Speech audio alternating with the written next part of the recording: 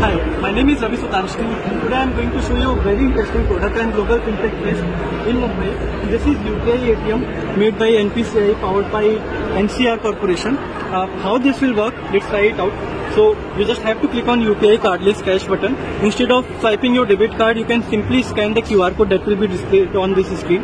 I am going to withdraw 500 rupees and now QR code is already here. I will open uh, supported UPI app. So BHIM is the official UPI app that I'm using here.